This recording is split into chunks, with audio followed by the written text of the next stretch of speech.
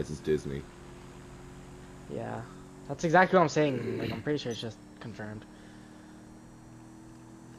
Yeah. Of course, bro. Like, oh, that would so actually much make a lot of more a lot of sense because it's like her emotions are also guys too. What?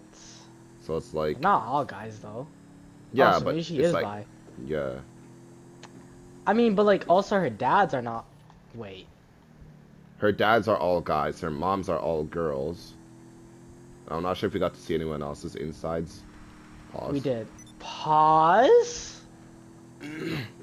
question mark? Question mark? Uh, no question Bundy. mark? Okay.